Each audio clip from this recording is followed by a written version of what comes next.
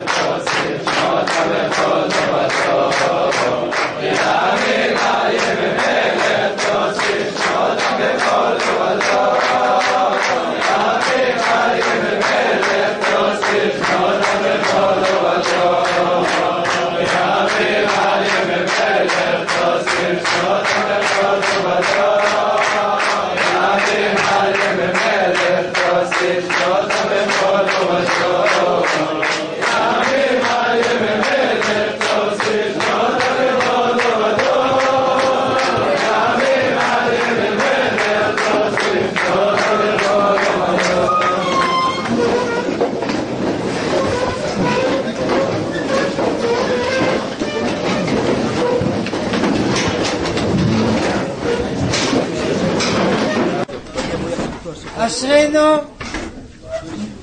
שזכינו לאורח חשוב, כבוד ראש הישיבה, הרב מזוז, שטרח לבוא ממרחקים, על אף שזה עבורו אבל עצום, ואנחנו מברכים אותו, שהשם ישלח לו ברכה בכל גופו, למען ישפיע טובו וברכה לעם ישראל עוד דורות רבים, אמן. ויחד איתו במלאכת הקודש רבי אלי ישי, שהוא איש פוליטיקה עם הרבה הרבה זכויות בארץ, ויחד עם זה אדם ישר. אף על פי שיש שטוענים שזה לא קיים, הנה הוכחה שזה קיים. וגם יחד איתו ידידי יוני שטבון, שגם הוא הרבה זכויות לו בהנהגת הציבור, וגם הוא אדם ישר וטוב, ולכן מצא מין את מינו בעבודת הקודש ובעבודת המדינה והנה לי לקצר כי אנחנו פה כדי לשמוע לראש הישיבה.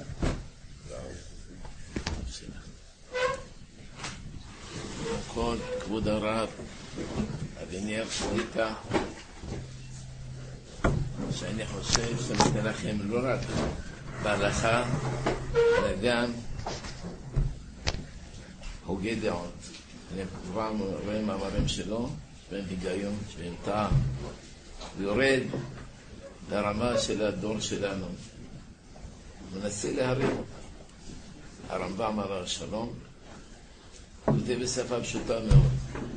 והוא ממרומי הידע שלו, יורד לעם. וירד משה מן ההר לעם, וירד משה דרגת יביר. לשבור את הדרגות. מן ההר ירד. עם ישראל נחם בחוכמה יתרה. תורה אומרת רק עם חכם ונבון, הגוי הגדול הזה. כמה אמנת משכל של יהודי לעומת אמנת משכל של הגויים. אתם יודעים כמה? פי 125. איך אני יודע? אין לנו כוח למדוד את חכמי התורה שהם גאונים. אבל מה שמבינים העולם זה פרס נובל. עם נבל ולא חכם, עם נובל ולא חכם. מודדים את החכמה על ידי פרס נובל. כמה מספר היהודים בעולם? שני אלפיות. למה? יש שבעה מיליארד בעולם. היהודים לא מגיעים יותר ל-14 מיליון. נוריד את האלף, נעשה 14,000 לעומת 7 מיליון. 114,000 לעומת 14 מיליון, זה 1 מאלף. וכיוון שיש לנו רק 7 ולא 14, זה 1 מ-500. כלומר, על כל 998 גויים, יש שני יהודים. וכמה מקבלים פרס נובל? יהודים? 25 אחוז. כמה זה 25 אחוז? 250 מתוך אלף. אז המוח היהודי גניוס, ככה אומרים, זה באנגלית כנראה.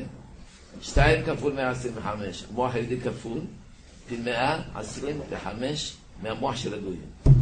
פעם הגרמנים התפארו שהם מקבלים הרבה פרס נובל. זה לא הם, זה היהודים שהתגוללו ביניהם. עובדה שאחרי השואה בארמונות הרבים ירדו, גרמנים לשכבה אפילו, מה הם שווים? כלום, שום דבר. הגיע הזמן שתקבלו עונש וישכחו אותו לעולם. עכשיו, איפה זה רמוז בתורה? רק עם חכם ונבון, הגוי הגדול הזה. ראשי תיבות, הגוי הגדול הזה, חמש כפול חמש כפול חמש. כמה עולה חמש כפול חמש? עשרים וחמש. כפול חמש, מאה עשרים וחמש. זה עלה בלבי כשהלכנו, אמרו, הרובע היהודי המתחדש. ה' כפול ה' כפול ה', זה מאה עשרים וחמש. לכן, היום זה יום ירושלים. ויש ויכוחים שאין להם סוף. אמר הלל, אין ברכה, בלי ברכה, אנחנו אומרים נשמת כל חי. אבל שתדעו שהיום הזה הוא רמוז בתורה, רמוז ברי חכמים, רמוז בנביאים, להפליא. אי אפשר גם.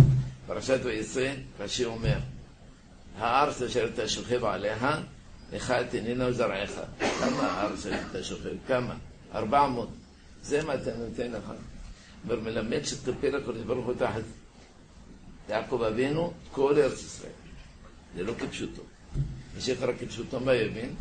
שיצחק ורבחה וכולם, כל, כל, כל ארץ ישראל כולה התקפלה כולה תחת יעקב אבינו, אז הוא ישן מעל אבותיו, מעל הגויים, מעל כולם, מעל אנשי כנען, ואחר ביוסף חיים, יש לו ספר נפלא על הגלות, בנוי אדם. בספר שלו יש הרבה פירושים דרך קבלה, דרגי מטריון, אבל יש לו גם כן הסברים בדרך פשט. למה? הוא נותן שיעור כל יום, אחרי תפילת שחרית, אור החיים, או יורד דעה, גומר אותם עושה סיום, שולחן ערוך, וגם בעניין. אבל אם אתם שואלים, צריך לענות לכם. אז הוא הסביר, נדמה לי בסוף מסכת מגילה, עתידם בית כנסיות ובתי מדרשות, שיתקרבו לארץ ישראל. הרי יעופו, יעופו, איזה יכולים. אז אמרנו בבית שאומר, כן. עכשיו אנחנו נסיים כאן ב-770, אסתר פרפי, מיד, מיד יבוא משיח, נלך שמה. אם אכלנו כאן מזונות, נברך על מחיר ארץ ישראל, איך היא? תפס דברים כפשוטם. שאולי בדרך סחול חמרית. ושמחה אמר לו ככה, הרוחניות שיש בכל בתי כנסת ובתי מדרש בכל הארץ, כולם יעברו לארץ ישראל. זו הסיבה שאשכנזים אומרים, ישיבת סלונים, ישיבת גור, ישיבת לובביץ', למה? אותה שיטה שלה מדובר בחו"ל, עד הלא מותר לי כאן, זה הרוחני. וככה הסביר גם מה שנאמר, קפל, קדוש ברוך הוא לארץ ישראל. הרוחניות של ארץ ישראל, אותה. עכשיו מה אומר השם? רמז, רמז לו, שתכבש לבנה בקלות כארבע מאות. מתי ראינו שבכבישי ארץ ישראל התחלות לבנים כארבע מאות? מתי? עם יהושע? לא. יהושע שבע שנים. שבע שנות כיבוש, שבע שנות חילוק. ובכל זאת נאמר לו, והארץ נשארה הרבה מאוד רשתה. אתה זקנת באת בימין, והארץ נשארה הרבה מאוד. אז לא כבש אותה כמו ארבע מאות. ומבית שני, מה בית שני? בית שני היינו תחת מערכות פרס, פרס ליוון, ליוון לרומי, מבחינה זו הדרך. כמעט שלא כבשנו. הרמב"ם אומר, זה בא אלינו ככה בקלות. בלי כיבוש, ולכן הקדושה של בית שני תופסת. בכיבוש, כיבוש בטל כיבוש. אבל יישוב זה אחרת. מתקיים הפסוק הזה עם פירוש ראשי במלחמת ששת הימים. שישה ימים הספיחו להכפיל שטח ישראל פי שלוש, אולי יותר. כמו שאמר רש"י, שתהיה נוחה לכבש לבניו כארבע מאות. זה מקום ראשון, פרשת פלסטין. מקום שני, פרשת בחוקותיי. כמו קראנו בחוקותיי, ורדפתים תועיביכם. נפלות נכם נחר, רצו מכם חמישה מאה, ומאה מכם רבבה ירדוף. אתם יודעים מה זה חמישה? ראשי תיבות, חיילים מלחמת ששת הימים.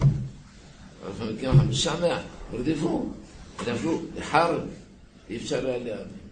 פלא פלאים. רב בירושלים נהרגו בעוונות ארבע מאות חיילים יותר בגלל שהאפיפיור שם, שהוא שונא ישראל. הוא אמר זה עיר קדושה, לא להשתמש ביריות, להשתמש בחרבות. שיום אחד אחר יחזור עליו, או לא יברח מזה. חרב אותי ברח, אל תברח מזה. אבל בסוף אומר שרשום כחמישה מאה, לעומת כל אלה שבאו, היה דבר גדול ונורא. לוי אשכול בזמנו. בא לרב כהנמן, ראש ישיבת פונוביץ', אולי נשיא ישיבת פונוביץ'. והלך אליו והביא איתו רופא, להזריק. להזריק הוא לא, לא יתעלה. אמר לו, כבוד הרב, אנחנו, יש לנו מלחמה קשה מאוד, כל החזיתות, ואנחנו צריכים עזרה. קרוב לנו, לפי השערה שלנו, חס וחלילה לשלושים אלף חיילים נופלים. אני לא אומר לך, תביא את הבחורים שלך למלחמה, הם לא יודעים, לא תפסו נשק. ללמד בני יהודה קשת, אבל הם לא למדו איך לכתוב יהושע, אשר לפעמים לא ידעו. אבל לפחות שיקברו, שיטפלו בקבורה שלהם. חשב שהרב קלמן יתעלב, יאמר לרופא תזריחו זריחה. רב קלמן היה שבי נפש, מה נשמע ידידי? לא יקרה כלום, לא יהיה שלושים אלף, חס וחלילה, לא יהיה שלושים אלף. אבל מאיפה אתה יודע? חפץ חיים הבטיח, פתח פעם תנ"ך, עשה גורל, יצא לו ככה. ובהר ציון תהי פילתה והיה קודש, כאן בארץ הייתה פילתה. למרות שבאו לכאן אנשים חילונים, למרות שבאו להשכיח את התורה. יעשו מה שיעשו. יש מנהל למעלה, שעושה את הכל. ניהלת בעוזך אל נבי קודשך, ראשי תיבות, בעוזך אל נבי קודשך בנק, הוא מנהל את הבנק של ארץ. והוא המנהל, עושה את הכל. לקח יהודים חילונים גמורים, מתאים בלבם משהו, מחר, מה פתאום? איפה אנחנו נמצאים? אנחנו בתשובה. ויש היום בארץ ישראל, אומרים למעלה חוזרים בתשובה.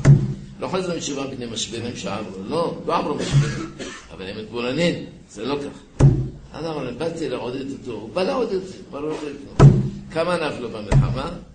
פעם ראיתי שיר שהייתי עולה חדש, במחנה עולים במרסאי, ליטב ל"א.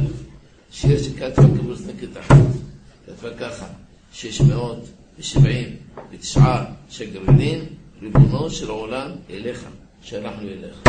מה פירוש 679 שגרירים? אלה מספר הנופלים במלחמה. התחלה 675, אחר כך היה עוד ארבעה רעות. שלחנו אותם אליך, ואתה טוב לנו יותר מאמריקה, יותר מצרפת, יותר מאנגליה. צריכים לסמוך על רחמי שמיים. אמרה, מה קרה לה? חילונים. גמגמה. אחרי שלושה חודשים, תאמין לי שאמרו, יצחק רבין אמר בזמנו, נטע שם העת הזאת, היא נפלט בעינינו, אחרי שלושה חודשים, אמר לא, זה לא, לא, לא נס. זה תחכום, תעוזה של החיילים, צה"ל, חכמים גדולים וכו'. יהודי סח בידו, סח שדיבור, צה"ל חכמים, חכמים גדולים. אבל מהשמיים הענישו באז. כיוון שהוא אמר ככה, וכמה שנים הוא הוכרח להחזיר עזה ורחמו, מי יודע מה הלאה יכול להמשיך, והסוף לא היה טוב. צריך תמיד להכיר הניסים של הקדוש ברוך הוא. עכשיו יש עוד פסוק, פרשת בלח, זה כתוב בספר כרם ד' הן עם כלוי יקום וכארי יתנשא. המלחמה לא התחילה בכ"ח באייר, התחילה בכ"ו. מה היה בכ"ו? לאשכנזים יש פיוט בהושענא רבן, נדמה לי. הושענא שלוש שעות, מכירים את זה? הושענא שלוש שעות, מזרחוב, פרדסקת ברחוב, שלוש שעות, מה שלוש שעות? לא ידעו מה זה. אומרים בשם רגבו נפש יצחמר, מה זה שלוש שעות? יש מדרש, שלוש שעות האחרונות לפני ביאת המשיח היו קשות מאוד. אמר אני, יש לי עצה טובה, לשתות מד דבש. נקרא ביידיש מ"ם עין ד', מד, אני לא מכיר את זה. אמרתי משקר, ישתה את המד דבש, שהקרום כבר, המשיח כבר הגיע. שלוש שעות אלה פורשו רק בדורנו. שלוש שעות ראשונות שבהם פוססו את כל המטוסים של המצרים. כולם, כולם פוססו. המצרים ישבו, לשתות קפה, בנרגילה וכו' וכו'. ובשמיים שלכם, האנשים שלנו עושים את הכל. איפה זה כתוב בתורה? הנעם כלוי יקום, וכארי התנשא, וכארי כף וואו אייר. י"ט וכארי. אייר, כותבים אותה ביוד אחת. יש כותבים בשני יהודים, יש בזה ויכוח. אבל אם היו גושה, יהודה אחת בלבד. ככה כותבים. אז בכארי כף וואו אייר, התנשא. מה זה התנשא? האויבים נופלים. מקרקעים את המטוסים שלהם, ואנחנו ברוך השם, נסע. לא ישכב עד יחתר, ביום הראשון כבר גמרנו את המלחמה. אצלנו בתוניס אמרו, לא, ערבים גוברים. כולם היינו בפחד גדול, והערבים טפלו בחנות של יהודים, וטפלו על בתי כנסת, שרפו 115 ספרי תורה, החריבו את הכול, ואמרו היום חיילי בממון, בער בנפשות, בשעה שש, לפי אבו גיבה, אפילו שאולי טוב, הדבר הזה בסדר. אמר מי שידע ביהודים, יתעלה מיד.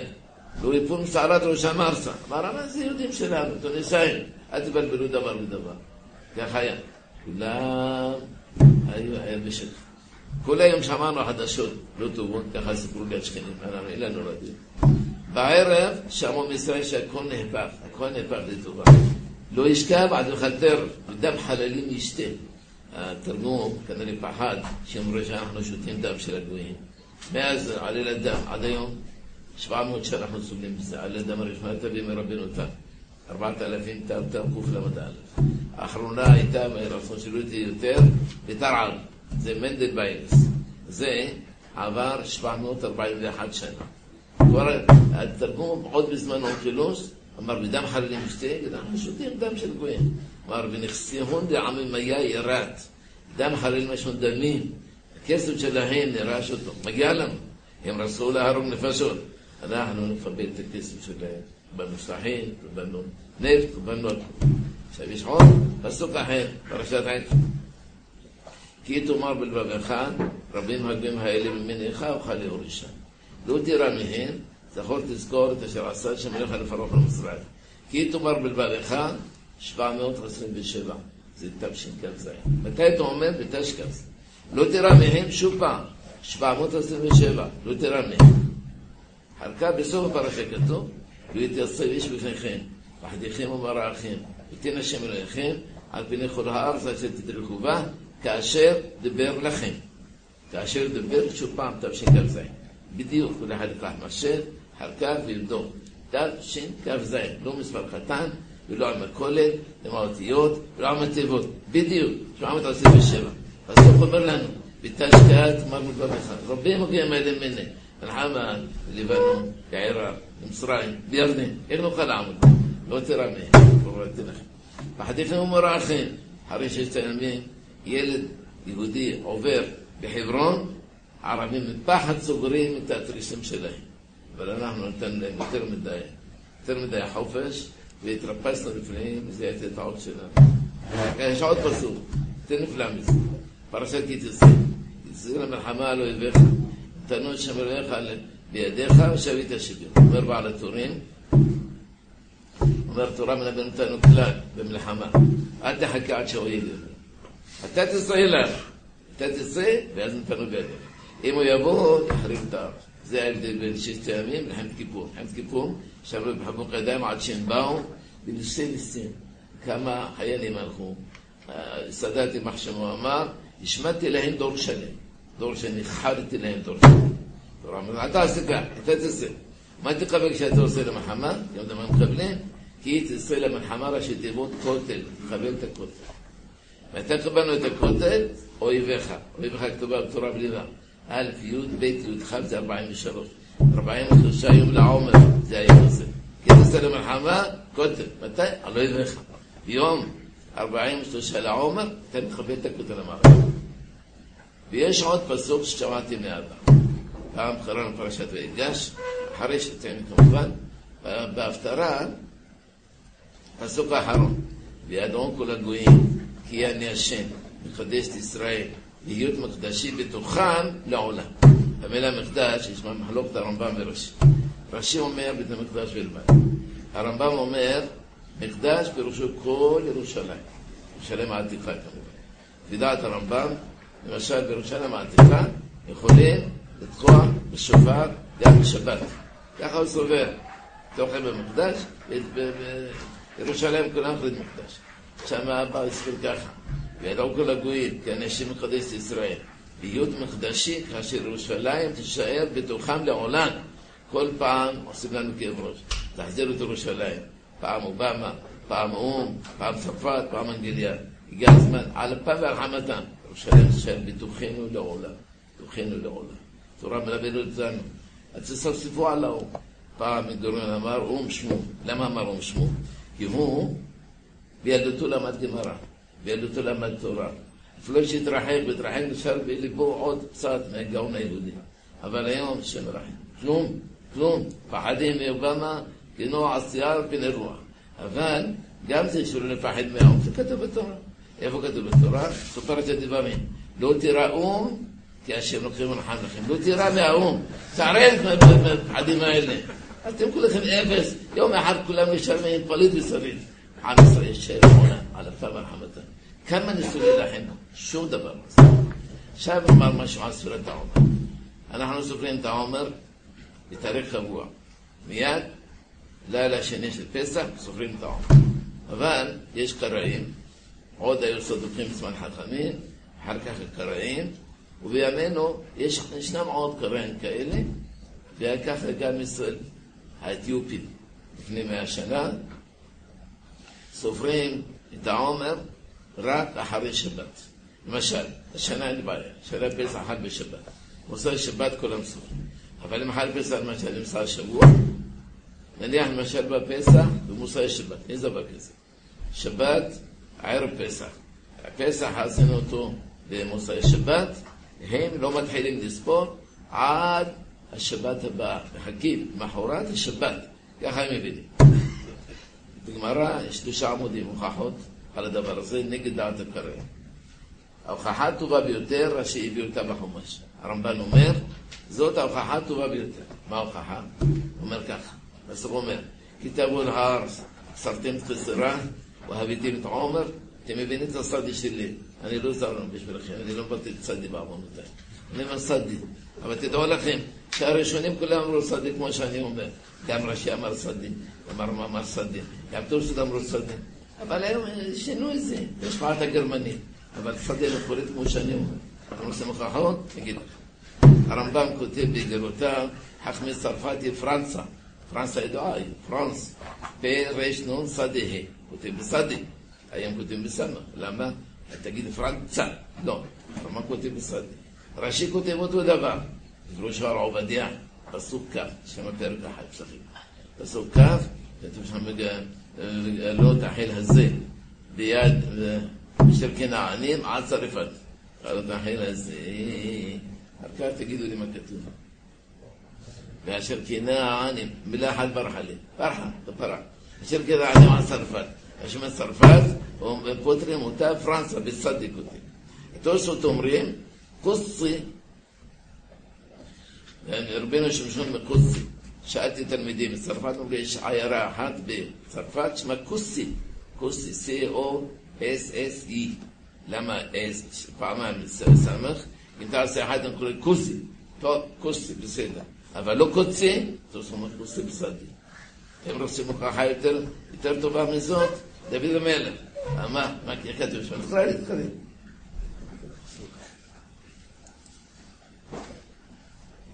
זה לבני ישראל של כנענים, לבני ישראל ברח. טוב, דוד המלך אומר, אשר קראתי את אברהם ושבעתו ליצחק. יצחק כתובה בסין. אמא היה מבטא יצחק, יצחק. כשמחליף את השדה לסין, צריך לשים את הטט. איפה הלכה הטט? לא, שדה והסין אותו דבר. יש עוד הוכחה שאמרתי מאבא. אומר בספר ישראל כתוב, אחא וגרון, כלומר בשפתיים וכולי, אחר כך זה שפרס בשיניים.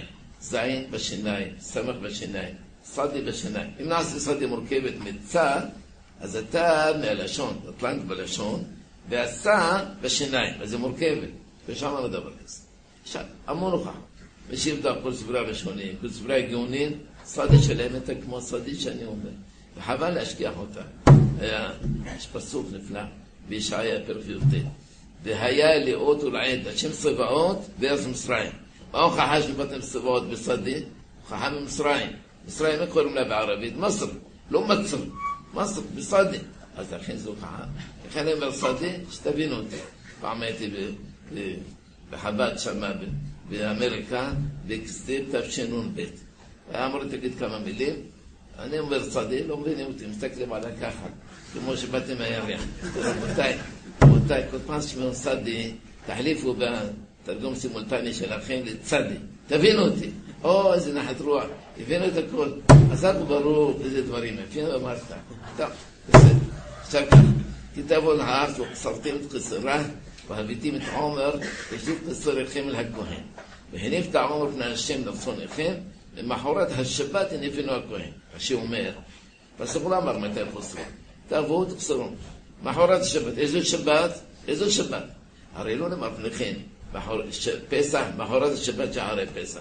כתוב תבוא להר, מסרטים את הזרע, תחזרו, תביא את העומר. מתי יניבו את העוקד? מחרת השבת. יש לנו חמישים שבתות בשנה, איזה שבת?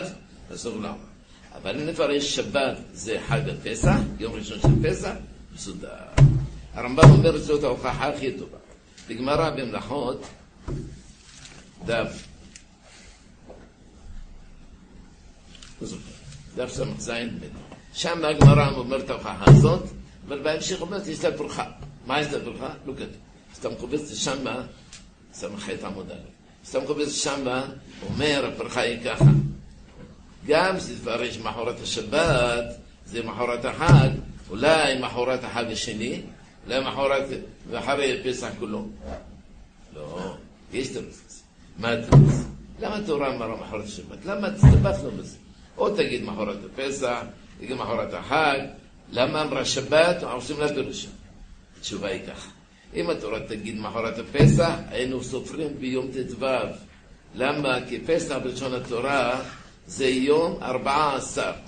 ובחידוש הראשון בארבעה עשר יום לחודש, פסח לשם. וחמישה עשר יום החודש הזה, חג המסעות.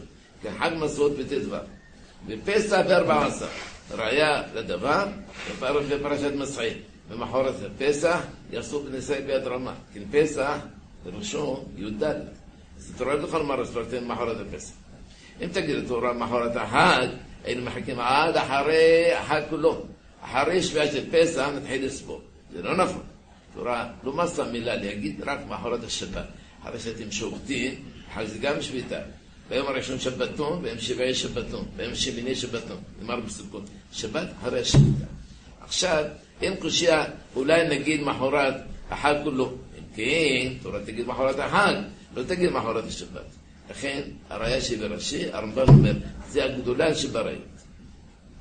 אבל, באו קראים ויחשו. אבן עזרא מביא את הקשות שלהם, הרמב"ם מביא את הקשות שלהם, כוזר מביא את הקשות שלהם, פעם היו מתמודדים. היום חושבים, בשביל שנוכל לשרוד, נשאר להיכנס בתוך ארבע אמות, כמו בת היענה. אסור לעשות את זה. לא לתת להם לבלוע אותם. למה?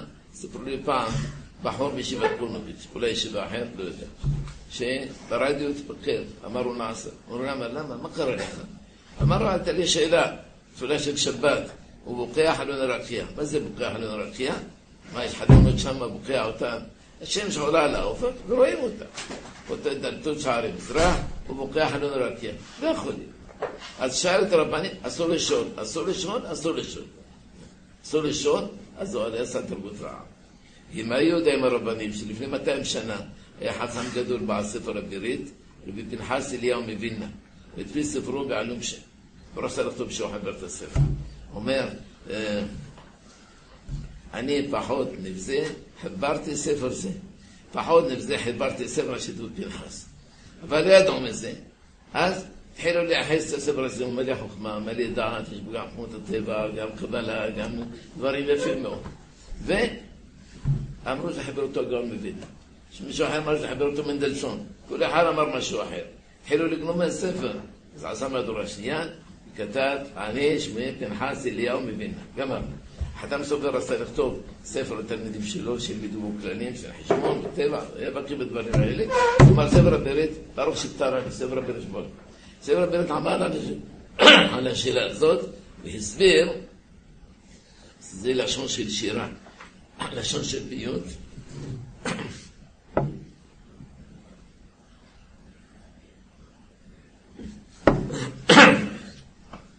לא מדכדכים איתו כל כך. יש דוגמה פשוטה מאוד. התורה אומרת ערים גדולות פשוט בשמיים. בשמיים? גם ממש בשמיים. פסוק אחר במלאכים א', ותבקע הארץ לכולם. איך תבקע הארץ באמת? אז תבעו כולם. נמלאו כמו חרב עלתו. כוונה, רעש גדול. יש לנו עוד דוגמה בצרפתית עד היום הזה, מי שיודע צרפתית, איך אומרים השם שוקעת? השם שהלכה לישון, הלכה לישון, הלכה לישון. שנייה אחת לישון כל הזמן. או שמסתובב, או שאנחנו מסתובבים, לא משנה. אבל אין דבר כזה. אבל זה לשון, ככה לשון. אז כן, וככה ככה, מראה בבוקר שאתה רואה את השמש עולה מעל האופק המזרחי, ולך בוקר. זה השם של שירה, שירה אבשלום אבי כאלה.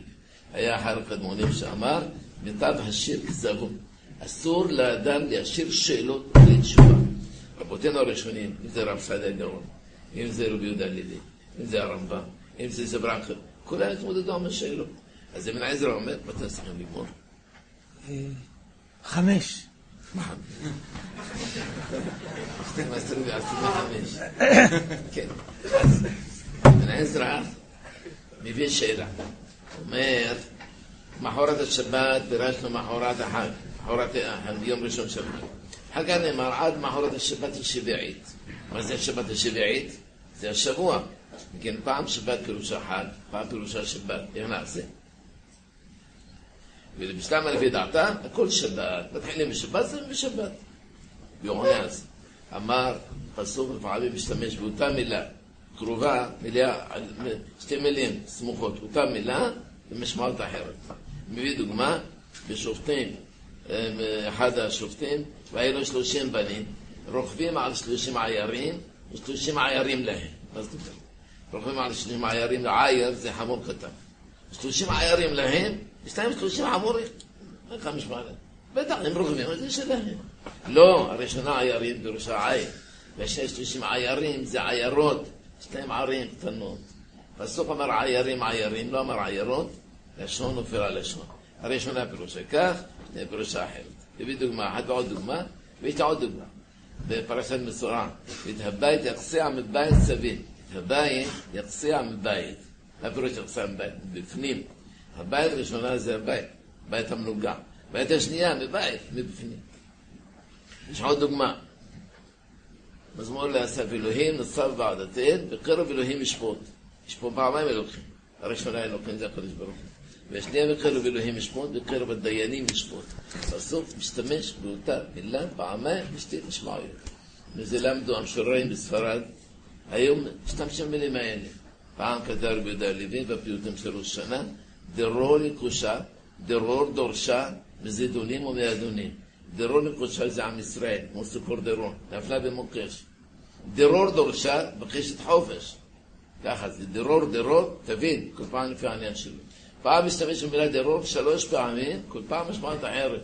כי נסע דרך ישראל, אז היה הרוח כל הזמן מתעתע בו, פעם ימינה, פעם שמאלה, התעתע והכל. יום אחד בא הרוח המערבי, יפה מאוד. אז הוא עשה עליו שיר, עשה לו כבוד. זה רוחך סד מערב רקוח, הנר בכנפיו והתפוח. כנפי דרור תניף ותקרא לי דרור, וכמור דרור מן הסרור לקוח. מה זה? כנפי דרור, כנפיים של סיפור דרור. תעשה כנפיים, שם מהר. אחר כך, תקרא לי דרור, תקרא לי חופש מספרד. ספרד סובל מן שם מלך חוסיין הנסרות. אני רוצה להשתחרר. וכמור דרור זה בושם. מור דרור חמש מאות. דרור, דרור, דרור, שלוש משמעויות. למדו זה מתנה. פסוק משתמש באותה מילה פעמיים שלוש, וכל פעם משמעות אחרת. טוב, השאלה הזאת פתרנו. הייתה עוד שאלה, שאבן עזרא כתב אותה, ולא מסר לה אמר, ויש בזה סוד, תתבונן, תשים לב. ואילו שאלה. מה השאלה? הקראים טוענים, אם כמו שאנחנו עושים מיד אחרי יום ראשון של פסח מתחילים את העומר, אם כן צריך חג השבועות קבוע תמיד, כמו שאנחנו עושים היום, שבועות בשישה בסיוון. למה התורה אף פעם לא אמרה מתי יכול שבועות? אף פעם לא אמרה. ויום וקוראים חדש על השם בשבועותיכם, בשבועות שלכם. תגיד, בשישה לחודש השלישי, למה לא תגיד בזיון? אבן עזרא כתב קושייה, ורבי יהודה הלוי לא כתב קושייה הזאת, אבל הוא כתב דברים מוזרים בספר הכוזרי.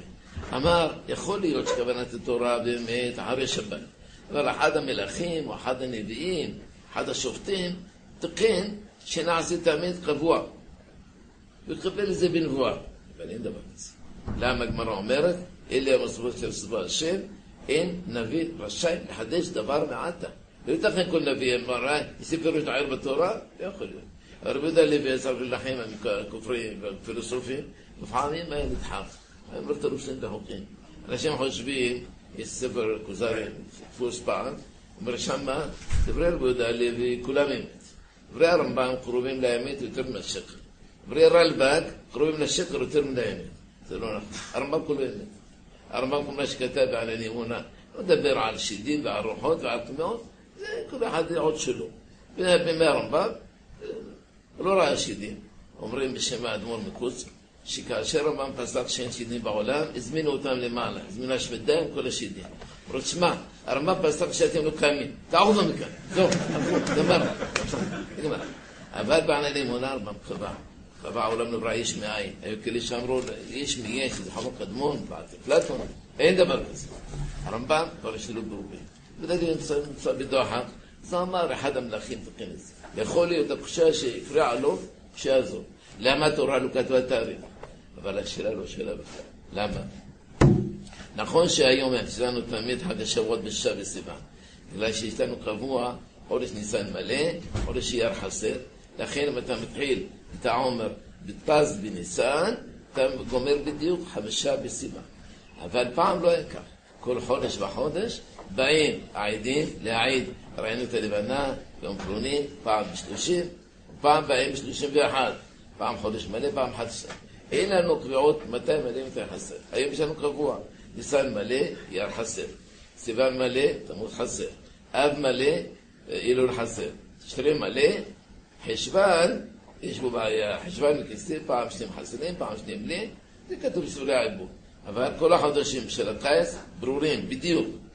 מלא וחסר. בזמנו לא היה כך. לכן הגמרא עומד בראש שרת רפואה, שחג השבועות יכול לחול פעם בחמישה בסיוון, פעם בשישה בסיוון, פעם בשבעה בסיוון. הקיסר.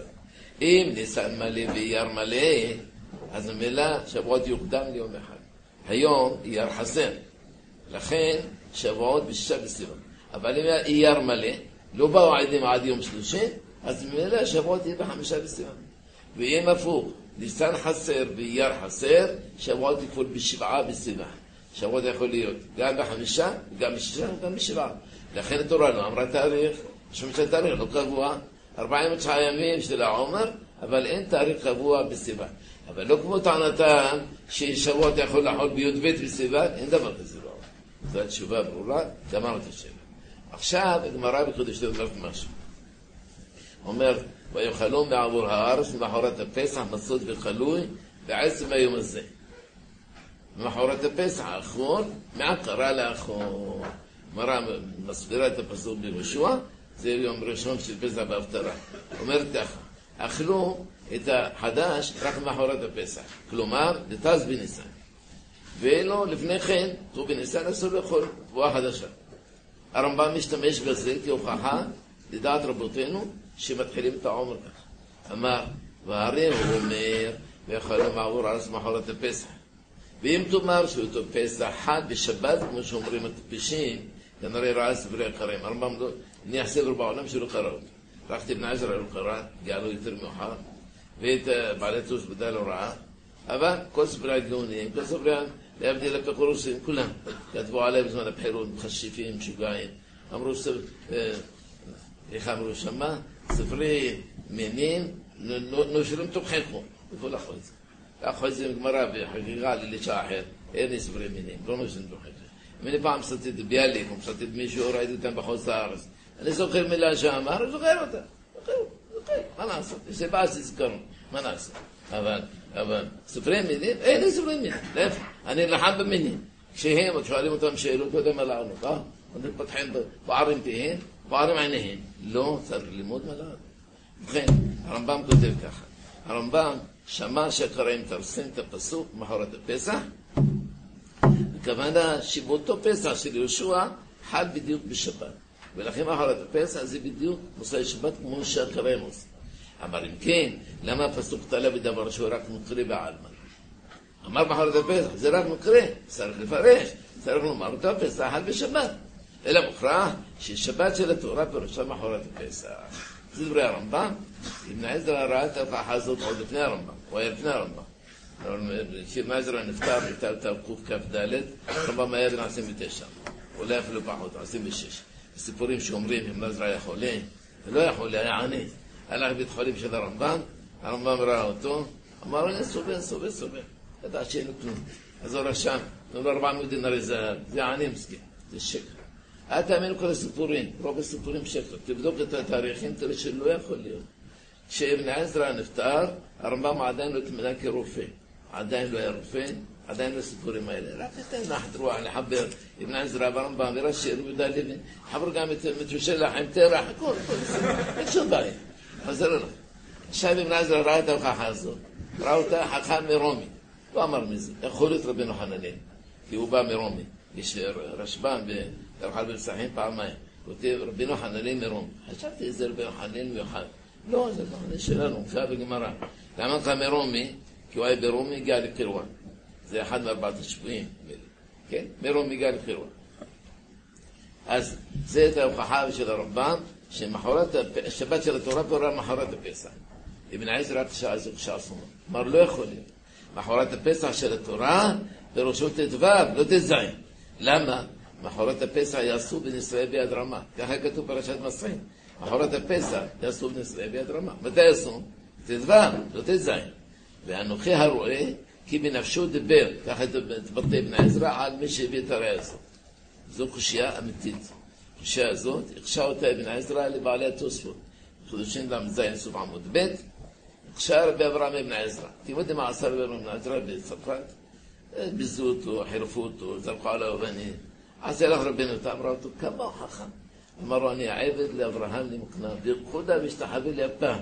אני משתחווה לך, איזה חכם אתה.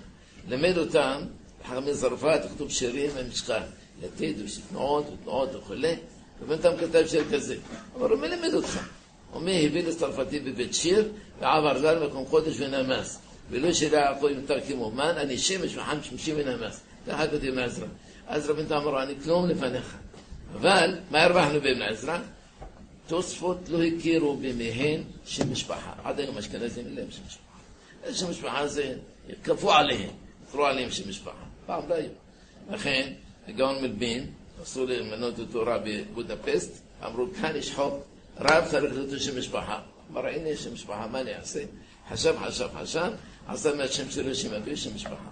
מלבין ראשי תיבות, מאיר לייבוש, בן יחיאל מיכי. ראשי תיבות מלבין. זה לא משפחה שלו, זה שמו שם אביו. וככה היה. ולכן אשכנזים נשמרים לתורה, מי שברב, פלוני בן פלוני. אצל הספרדים לא, פלוני משפחה, לא צריך בן פלוני, משפחה, מוכר במשפחה יותר. לא צריך לומר שם אביו, מי הוא אביו? אברהם בן, בן, בן, בן יעקב, יש הרבה כאלה. משפחה, אתה מכיר אותו יותר. ככה גם בכתובה כותבים אברהם, משפחה שלו. היום אנחנו עושים סלסון, עושים את חובת כולם, עושים פלוני בן פלוני ושם משפחה.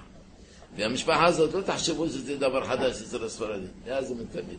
הרמב"ם כותב פרשת פנחס, ככה היה נהוג בישראל. משפחת שמעוני, משפחת חברוני, וכמו שאנו אומרים היום, אבן דאוד, אברבנאל, כל השמות האלה היו מאז ומתמיד. לכן, בא בגמרא בתענית דווקא כתוב, לא קראתי לחבר השם בחניכתו. מה זה בחניכתו? סוסום לא יודע מה זה בחניכתו. ככה בא אבן עזרא, אמרו, איך קוראים לך? אמר אברהם אבן עזרא. אבא שלך שמו עזרא? אמר לא. זה בא אבן עזרא, זה משפחה. אבא שלי שמו מאיר.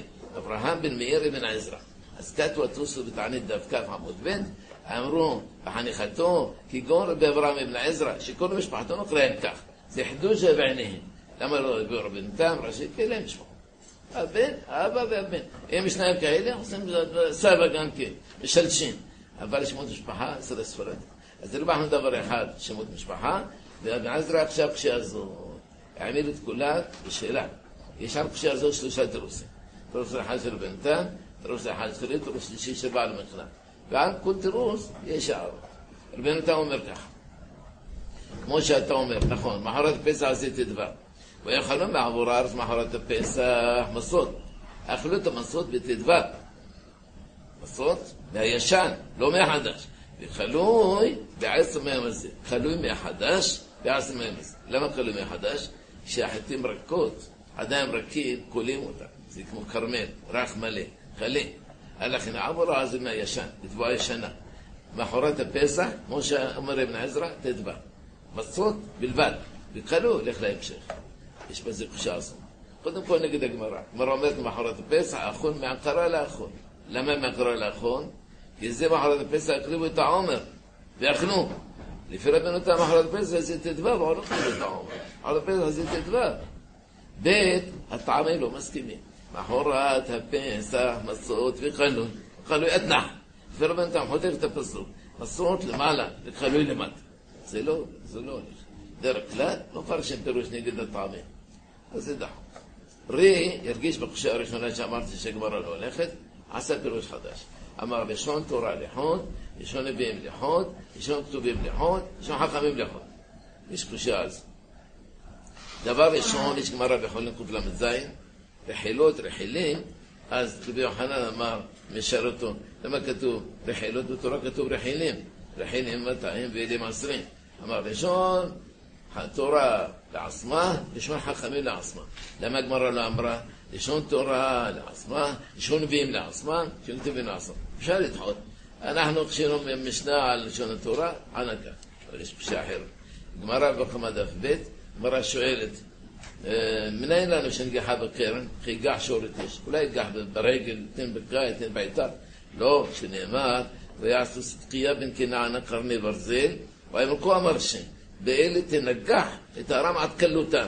אם כן, קרני ברזל תנגח. איך הגמרא לומדת? זה פסוק בתורה, פרש משפטים. זה פסוק במלכים א', איך אתה מחבר אותם ביחד? שמע מנה שהגמרא לומדת שהתורה והנביאים אותו לשון. כן, איך מותר לישראל שלשון תורה לבד, לשון נביאים לבד? צריך היום.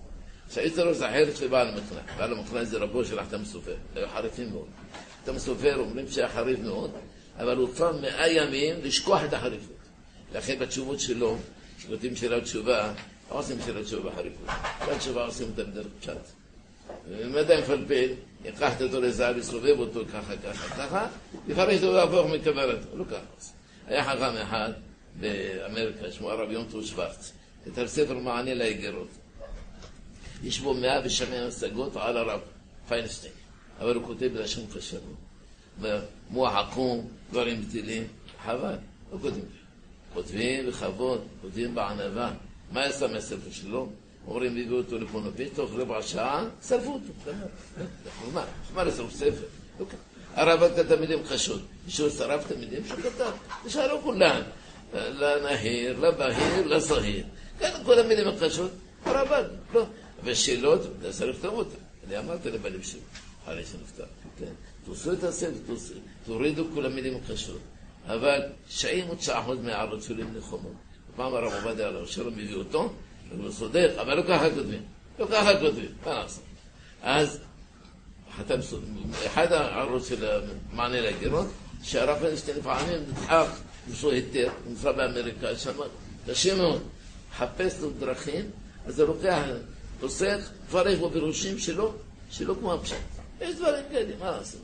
אבל בעל המכנע היה חריף. הוא רבו של חתם סופר, שגם ספר הפלאה. מה זה הפלאה? הרב פנחס לוי, איש הורוביץ. אחיו היה אדמו"ר. ושמלקה, שמלקה או שמלקה, אני לא יודע. כתוב א' בסוף. אבל הוא היה גאון. כתב משהו חריף מאוד. אמר, לפני מתן תורה, היה, היו מונים ככה. הלילה שייך ליום שלפני. למשל, ליל שבת, זה לא ליל שבת, זה נקרא יום שישי בלילה. ככה הגויים, ככה אומרים. אומרים, פעם ראיתי בספר שיש מקרה רצח שקרה בארץ ישראל. באו שני עתונים. עתון אחד אמר, המקרה הזה קרה בערב פלונית, בגדם פלונית, ביום שישי בלילה. שני אמר, בליל שבת, יש פה סתירה. או שנרצחו שני אנשים באותו השם, באותו מקום, אחד בליל שישי, אחד בליל שבת. לא, זה אותו אדם. רק שני עיתונאים, אחד יש לו שכל ואחד שכל שלו הפוך. אחד אמרים שבלילה הכוונה בליל שבת. אמרים שבת כפשוטו. אז ככה אומר בעל הפלאה. עד מתן תורה, הלילה הולך אחרי היום שלפניו. מניין לא? שנאמר ביום והלילה לא ישבות. ביום, אחר כך לילה. נתינת תורה נתחדשה הלכה. לילה ואחר כך יום. ליל פסח, ליל ט"ו, זה ט"ו. לפני כן עכשיו ליל י"ד. ככה אומר. בזה הוא מסביר את הסתירה של מחרת הפסח. כלומר, מה שכתוב בתורה, מחרת הפסח עשו בני ישראל, הכוונה, פסח זה יום, פסח זה ט"ו. למה? כי הלילה ליל י"ד זה שייך, זה שייך לי"ד. מחרת הפסח זה ט"ו, זה יום חדש. אבל אצלנו, הפסח זה י"ד, זה ט"ו, הלילה והיום. בוא נחזור עוד אומר כך, הפסח של התורה זה זמן אכילה שלו, לא זמן השחיטה שלו. זמן האכילה שלו. מתי אוכלים פסח? לט"ו. אבל במתן, בזמן ניסת מצרים, הלילה הזה לא שייך לט"ו, שייך לי"ד. אז למחרת, יום ט"ו, זה נקרא מחרת. אבל במיהושע כבר ידעו שהלילה והיום אותו דבר. לכן, פסח זה יום האכילה. מתי אכלנו את הפסח? בליל ט"ו. מחר, מחר גם כן ט"ו. ומחרת הפסח של יהושע זה יום ט"ז. לכאורה תירוץ יפה מאוד. ולא רק שהוא יפה, להרווחנו בו של תוספות. תוספות ברכות דף שואלים שאלה. הגמרא אומרת, כולה אוכל ושותה בתשיעי, מעלה עליו כתוב כאילו שר, תשעה ועשרים. נהיה לנו, שנאמר, בתשעה לחודש בערב. ועניתם את המשותרים בתשעה לחודש בערב. וכי בתשעה מתענין, ולא בעשרה מתענין, אלא כולה אוכל ושותה בתשיעי, כאילו שר תשיעי ועשרים. אז תוספות שואלים, מה חושב תשעה לחודש בערב? תשעה לחודש בערב. פעם זה ליל עשירי. כמו שראינו, בראשון, בארבעה עשר יום לחודש בערב, תאכלו מסות. הולכים ביום ארבע עשר אוכלים, אוכלים בליל טוב. אם כן, בכל זאת. שם הגמרא לא הקשתה את השאלה הזאת. לפי דברי המכנע, מסודר. למה? שם בראשון בארבע עשר חודש בערב תאכלו מסות פרשת בו. לפני מתן תורה. ואז הערב של ליל ט"ו שייך לי"ד. בראשון ארבע עשר לחודש בערב, ליל ט"ו זה שייך לארבע עשר. אבל פרשת אמור, שם כתוב, אחרי מתן תורה, שם כתוב, קניתם משכים בתשעה לחודש בערב. לא, זה לא ערב של תשעה, זה ערב של עשירי. לכן, גמרא שאלה, זה בתורה ספק. אבל יש לנו קשייה. מה הקשייה? הקשייה היא שתמיד בתורה כשאומרת פסח מתכוונת על יום השחיטה, לא על יום האכילה. פרשת אמור ככה אומרת. ב-14 לחודש פסח נשים. ב-15 יום חג המסורת. פרשת פנחס אותו דבר, וביחזקאל אותו דבר. בפעם שבתורה מדברת על פסח, לא מדברת על האכילה כמו שאומר החכם בעל המכנע, מדברת על יום השחיטה. אם כן, מחרת הפסח גם ביהושע, פירושו למחרת השחיטה, השחיטה בי"ד, מחרת הפסח זה ט"ו. לכן אמרתי, תירוץ הנכון ביותר תירוצו של לי. ואם תגיד לי, הנה ראינו בגמרא ובקמה, שראשון התורה מביאים אותו דבר, אבל יש כאן טעם מיוחד שלשון הנביאים שונה. למה לשון הנביאים שונה? יש ראשי פרשת בעלותך אומר שישראל לא הקריבו פסח במדבר רק פעם אחת בלבד. בשנה השנייה בלבד. בגנותם של ישראל דיבר כתוב שלא יקריבו פסח רק בשנה השנייה. למה לא יקריבו יותר? למה? היו פשעים? למה לא יקריבו יותר? אז אני הסברתי שבאמת האסון והבקר שהביאו אותם, מחנה כבד מאוד, פרשת בו, הם לא יכלו לעמוד במן. המן הזה לחם של מלאכי שרת. לחם מבירים אכל איש. הרבה פעם הסבירו לנו בליל שבת, למה עם ישראל חכמים? למה חכמים? אם תאמר שבאנו מזרע אברהם אבינו, הרי להבדיל גם הערבים באו מזרע אברהם אבינו. הערבים חכמים? כל מה שהם למדים אותם, למדים אותם שם, אירופה תקח את הנשק, את האטום, תעשו אותו, הם מכשירים אטום, מה לעשות? לא, לא בגלל זה, בגלל שאכלנו את המן 40 שנה. המן נתן לנו חוכמה, מלאכה מבירים. עכשיו, הצאן והבקר, לחם מלכי שרת, מה יעזור להם? זקנים, לא יכלו לעמוד בזה. לכן הרבה מהם מתו. ראה לדבר, פרשת בעלותך אחרי הקטע הזה של הפסח, הוא היה עם כמתוננים. משה רבנו אומר, חסון ובקר ישחט להם ועשה להם, אין מספיק. למה אין מספיק? איפה כולם? הרי כל מה שהבאתם במצרים הרבה מאוד, הביאו בלדות ועוד בלדות, צריכים המון. לא, רובם לא יחזיקו מעמד. לכן עשו פסח כל ישראל רק בשנה שנייה בלבד. לא תגידו שאחר כך לא עשו פסח, עשו, אבל רק יחידים. מי שיש לו אסון ובקר, מי שהאסון שלו בירך אותו שהמן יהיה טוב בשבילו, אז בסדר, הבין, אבל לא כולם הבינו. לעומת זה, לא אכלו מסות כל ארבעים שנה. למה לא אכלו מסות? מסה צריכה להיות מחמישה מינים. חטים, סחורים, קוסמין, שיבות שוער ושיפון. אין דבר כזה. המן זה לא חטא ולא סחורה ושום דבר. אז הפסח הפך במקום חג המסות, נקרא חג הפסח. בזמן שבמדבר נשכח שם חג המסות. אין מסות, אין מסות, אין כלום. לכן, כשבאו בימי יהושע, כבר הפסח זה לא כמו הפסח של התורה. הפסח פירושו חג הפסח, החג כמו שאנחנו קוראים לו עד היום הזה. הוא חג הפסח. לא יום השחיטה, אלא החג. למה החג נקרא פסח? כי בו פסח שם על בתי בני ישראל במצרים, אז זה פסח. זה הפסחה. ולא פסח כמו שאומרים בתורה, פסח של השחיטה, לפסח של החג. כי אחרת אין להם שם אחר. מה יגידו לחג הזה? חג המסורת? אין מסורת. חג המן, לא חג המן, אין חג הזה. לכן קראו לו חג המסורת. לכן מובן למה התורה אומרת.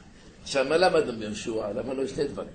יהושע, עליו שלום, שינה שני מילים, שתי מילים מהפסוק של התורה. בתורה כתוב, ולחם וחלי וחרמה. חום לחם הוא כתב בסוד. למה? כי אנשים לא מבינים, לחם חושבים, זה חמץ. יבוא חמה, התורה אומרת, על עשר מרזי, ביום פז בניסן תאכלו, תאכלו לחם חמץ. אמרנו מסות, יש כתוב בספר של רבי אליהו בחור, לו ספר על תשבי, קוראים תשבי, למה קוראים תשבי? כי אליהו זה התשבי. ויש בו בספר הזה 712 ערכים, עשינו אותו בישיבה לפני כמה שנים, בהגעה מיוחדת. חיפשו כתביעת של יעבס, של הגאות על הספר. כתביעת של רבי הפה, ועוד הגהות, עשו ספר מיוחד. פעם פגשתי את הרב וייס, אמר, עשיתם טעות, לא הבנתי, אני אבדוק. אם עשיתם טעות, אני אפרסם, טעיתי, מה אכפת לנו? מה אסור לדעת מה טעיתי? מה כותב, טעיתם, תקנו בספריכם? ככה צריך לעשות. סור מרע ועשי טוב. גם זה טוב, טעיתי ותקנו בספריכם. יש לך טעות, סור מרע. וטובה, טובה. בדקתי. הוא טעה בחלק גבול, לא הבין. הספר הזה נפלא. שם כותב בערך דבר אחר. אמר, אני לא מזכירים בשם חזיר, שהילדים לא ישמעו את המילה הזו. אומרים דבר אחר. כמו שרגילים בפסח עלול לומר את המילה לחם, כי לחם פירושו חמץ. אז אומרים משהו אחר. לחם בברכה, לחם נער, בסדר. אבל כשאתה מדבר, תגיד לחם, יכולים לטעום. אז יהושע בן נון שינה מהלשון המרמסות, פירו לחם. ודבר שני, שלא נטעה כמו קראים ונאמר מחרת השבת, פירושה לחכה עד השבת, מחרת הפסח, פירושה לגמרא נכון, והרמב"ם נכונים, והכל נכון, הכל ברור. הרב קוק עליו השלום, בשנת תרח, נדמה לי, ראיתי בספר לפני 40 שנה, עושה. שלח דוקטור אחד, שמו יעקב פייטלוביץ, תבדוק אם זה נכון. אמר הולך לאתיופיה, שמה ממשיכים לעשות כמו הקראים, מחרת שבת, מחכים עד השבת. אז הוא כינס 400 קייסים. ומה זה קייסים? זה הכהנים שלהם. כהנים שלהם קוראים קייסים. למה כינס? כל העולם כולו עושה מחרת הפסח, מחרת השבת, אחרי יום ראשון. אל תחכו עד השבת. הסכימו. קיימו קבילו היהודי. אז אחד אמר, הנה, הם קדומים, קדמונים, הנה, הנה הם לא עושים ככה. לא, קייסים שכחו הרבה מאוד. כאשר באו לארץ, ראיתי כתוב, באו הקייסים האלה, ירדו מהמטוס, זה היה מבצע משה. ירדו מהמטוס ולקחו מניפה, ככה, ככה, ככה. אמר יום חורף, בשביל מה אתם ניפים? הוא זבובים, אם הזבוב ייגע בקייס, אז הוא יטמא, צריך טבילה. הזבוב חי, לא יטמא. זה הכלל הראשון שכתב הרמב"ם בהקדמתו ראש המשנה בסדר טהרות. דע לך שאין שום בעל חי, בעל חי או בעל חיים, שהוא ייתן טומאה ויקבל טומאה, שהוא חי, זולת האדם בלבד. את הכלל הזה הם לא ידעו. חשבו, מה שהתורה אומרת, אלף מאה משרסים וכולי, גם כשהוא חי, אם ייגע זבוב בפנים של הקייס, אז הקייס הזה צריך לטבול 180 פעם כמי הקייס. לא נכון, לא את הדבר הזה. טעו. תקעת שופר אין להם. תורה אומרת, אם תורה יהיה לכם. לא ידעו, מה נעשה? אז גם כן, טעות מחרת השבת. אבל פה בארץ לומדים לאט לאט, ונעשים גם דיינים, גם חכמים. יש לנו בחורים בישיבה שהם אתיופים, לומדים מהרש"א. אתיופי כאן, ותימני כאן, וספרדי כאן, ואשכנזי כאן, יש שם גם אשכנזים. אתה יודע מה באים לנו אשכנזים? דווקא אשכנזים לא באים לישיבות ספרדיות. חוץ מאיתנו. למה? כי הישיבה שלנו, יודעים כאן, ספרדי טהור. לומדים, כך למדו פעם. לא משנים. לומדים את רש"י מרק שלום, לומדים. לא לומדים. הם, הם, הם, היה תגיד איזה פלפול. לפני הפלפול, קודם כל תבין טוב את הפשט. אמר רבי יהודה ארי מודינה, היה חכם לפני 400 שנה, שהוא שואל זוכני יהודה. אתם יודעים מה זה פלפול? עושים מפיל גדול, עושים פול קטן. פול קטן, עושים פיל גדול. קודם כל להבין את הפשט. פשט זה פח שם טהור. יש להם מה ללמוד. ויש לנו גם מה ללמוד. אז הם באים, שומעים. אמרתי להם פעם, תימני ואתיופי, עליכם נאמר, ושב השם לא אחד של בתך ורחמך, ושב וקבצך מכל העמים. שב זה בית, זה אלפיים, ושין שלוש מאות. אלפיים שלוש מאות שנה עבר מזמן הגלות שלכם. בימי בית ראשון. עד היום, והנה, קבצך מכל העמים. לאחר פסי השמיים, קבצך, ושם מקרחך. יש עוד פסוק מיוחד על האתיופים, הרב עובדיה עליו שלום אומר, שם שבדן. ככה הרבז, ככה מעריכה. מה כתוב בתורה? דן ידין עמו, כי אחד שבטי ישראל. דן, השבט הזה, אתיופים הגיעו לארץ, והיו מהם דיינים. ידין, הרב הראשון שקיבל הסמכה, קוראים לו יוסיף הדנה. איך הוא חותם? יוד הדנה. יוד זה עשר, הדנה ה' ד' נ' ה', 64, ביחד 74. ידין, 74. אז הוא אומר לנו, מי הרב הראשון שיבוא מאתיופיה? כי שבטי ישראל, יש אומרים, לא, זה לא יהודים. למה הפנים שלהם שחורים יותר מדי? קודם כל, זה לא נכון.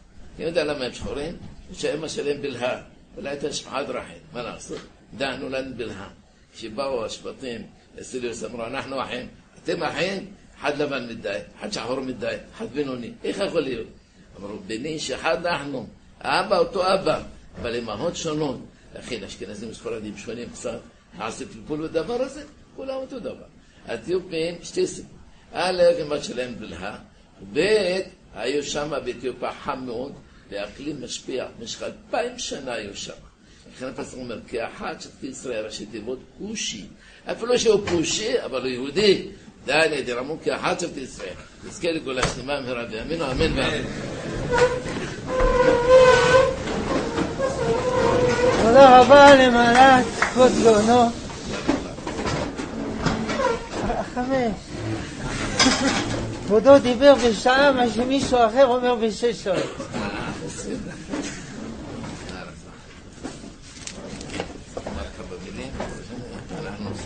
שיהיה לכם יום ראשון המבורך, שנזכה לגאולה שלמה.